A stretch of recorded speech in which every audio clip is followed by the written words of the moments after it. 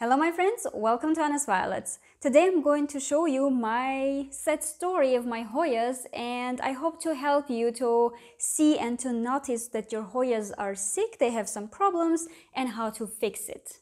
These are my Hoyas. I had 22, now I have just 21 because one already died. Why? I don't know, but now they have a serious issue. I decided to tape this video to show you uh, what is the problem, how to find it out and how to notice it early, what to do not to lose time and eventually not to lose your Hoyas. So today I'm going to tell you about their uh, problems basically and it's not about care tips, it's not about how to water, when to water, what type of soil to use, but instead what problems they may have even if you do everything right. These Hoyas were happily growing always indoors. I have them on my shelves in my living room and everything was perfect. The light, the conditions and everything is good. But what I did wrong, and this is why I want you to be careful with this. So basically, it was autumn, it was getting cold outside, and I was bringing my old plants from the balcony inside um, and I washed them, of course, to you know to get rid of all pests or diseases that may be um, on the plants that grow outside. And everything was fine. I think I did there everything fine and correct as well. But then I swapped plants, and one of them, which is the money tree, uh, I think it had an issue. But I was flying to Italy, and I taped that video actually on that same day when I was going to Italy Oh, it was such a beautiful trip. I was there with my boyfriend and we went to this Seceda mountain, which is such a, it's just breathtaking. It is so beautiful. It is gorgeous mountain. It's like, actually, it's very famous uh, for this very romantic occasions and so many tourists go climb there or take a cable, cable car just to go up there, which is, I don't know, 2000 3000 something kilometers above the sea level. It's really high it's very steep and it's a very romantic settings for everything. And i was there with my boyfriend.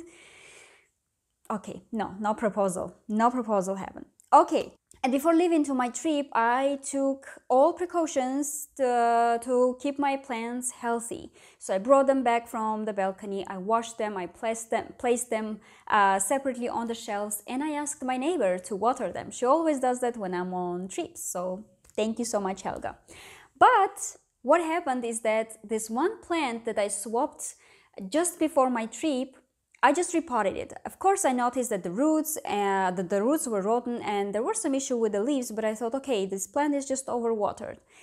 And I noticed a stain on a leaf, but I didn't pay really close attention to it because I was in a hurry. I was, you know, taping a video and packing at the same time. So I actually taped that video just, I don't know, an hour before my, uh, before I left to the airport. So I was really in a hurry and I didn't put that plant separately. If you ever buy a plant, get a plant from someone, doesn't matter, you need to put this plant in quarantine for at least two or three weeks. And in this time, this time will be actually enough for you to see if there's an issue with the plant, if there's a disease, if there are insects, so that you don't really have this disease spread to all of your plants which yeah you guessed it now i have it. So it's not only bahoyas but actually my all plants i will need to take care of them. All right so what did i do and what you should do too? Well of course number one well step number one don't panic. This happens. And it's not about getting rid of all the insects. Of course it's ideal if you have one two ten plants. Yes you can be really like without any pests, without any insects or diseases. That's really easy. But if you are like me growing 200, 300 plants in one area, this is sometimes not the not the case and it's not about getting rid of all of them or getting you know uh, frustrated that you have a pest but it's all about pest control. So just controlling their quantity so that they do not harm your your plants. One or two is easy to control but if you have this huge infestation when you lose your plants that's already too late. So now i'm trying to help you to identify the issue early enough so that you can take the steps. Step number two of course you can wash your plants. With some uh, with some insects this may be enough. For example with aphids it's really easy to get rid of them. You can just uh, use a hose this uh, strong current of water, not so cold, but also not hot, of course, like room temperature water, and you can just wash your plants, and then all these aphids will, you know, fly away, will fall, fall off, and problem solved. Step number three, and also this is something that you can do even if you do not have pests or if you do not have insects. This is actually helping to kind of prevent them. What you can do is from time to time you can spray your plants with um, soap water, which you can also to which you can also add neem oil. So a little bit of um, neem oil, which stinks horribly. So if it's possible to do it outside, do it outside. In my case, I've done it inside, and I've uh, yeah, it was not possible to breathe anymore. I had to open all the windows and doors to kind of really, really get rid of the stinky air.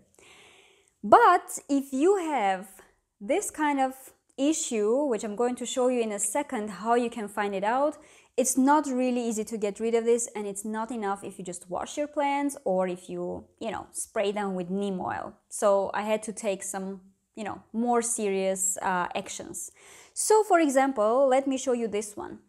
The most important thing is that you, you pay attention, of course, to your old plants always, but uh, the easiest way to find it out if something is wrong with your plants is if you take a look at this uh, very young growth, very young leaves.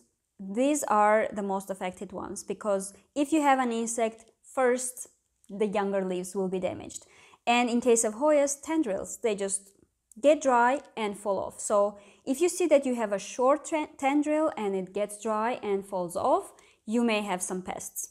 Then you need to check the leaves, uh, underneath the leaves, the soil, etc. If you have longer uh, tendrils like this, you need to give them support, but this is a topic for another video. You need to give them support because if the tendril doesn't find any support to climb on, um, they may, may get um, dry as well and they will start growing leaves only if you have support. This is a topic of another video. Now let's continue. So next, what you do, you check the leaves. You can check the leaves from the surface to see if everything is fine with them, but it's also easier if you uh, you will spot them better and faster if you just look at the bottom, like underneath the leaves. And these are exactly the the signs, the signals that you have a pest. What pest is this? Don't freak out, but it's thrips you can see this yellowish brownish dots um, but also you can see this kind of yellowish or uh, even silvery um, spots and you will definitely notice them because you will see this discoloration. The leaves will look pale discolored. They will be yellowish or this silver as if there is this um, silver cover on the leaves. And definitely that's thrips. It just what it does it just takes the juice out of your leaves and the leaves are uh, damaged this way. So it's not really easy for them to, for example, really uh, go through this very thick Hoya leaves. And this is why now here what I had, uh, just a tendril got damaged. But these tiny ones, these very thin and very tender leaves like this ones, uh, it was really, really damaged. And you can see that if, if I didn't stop it on time, I would lose the whole plant. You can you can wash, you can use a soap water together with neem oil, which you will need to use for a couple of times. You will need to basically uh, use it for and spray all your plants for a couple of times. It means with a period of five to seven days, you will need to spray them over and over and over again, and eventually their quantity will get lower and you will get rid of them. So if I would do that with all my 200 and 300 plants, you can know already how much time it takes to take every plant to the bathroom, spray them, put them somewhere to get dry, and then put them back on the shelves. And if I would do that, well, I could do that, but if I did that, I would not have time to tape any video for you. So I went with the next step. So the next step could be using some biopesticides. And by, by and by biopesticides, I mean the ones who are not uh, harmful for the nature, for the butterflies, for the uh, for the bees. Another thing that you could do is to invite other insects which eat thrips, for example, nematodes. But okay, not everyone can kind of live with the idea that you have pests in your place and then there are other pests who are eating these bad pests. But also sometimes and in different countries you cannot really easily or order them on Amazon, these good pests, so to say, good insects. What I did in my case, well, I don't have pets, I don't have small kids at home, so what I did I used this Careo and this is such a cool thing because it's two in one. It's a fertilizer but at the same time it's a pesticide. All the links will be in the description if you would like to get ex exceptionally this one but of course there are so many you can just choose on Amazon and choose the ones that will help you. In this case I chose this one because it will actually get rid of all the pests that you may think you can have. So it's about aphids, it's about um, mealybugs, uh, white butterfly, and of course thrips as well. There's also instruction on how to use it because here you see the sticks, but for example, they will be too big for uh, one small pot. So we'll, you may need to uh, cut them in two or maybe even in three. But the idea here is that uh, if you use these sticks and then you just normally water your plants, your plants will get nutrients. That's awesome. But also the water absorbed from the roots will take this into the stems and the leaves and will make them poisonous.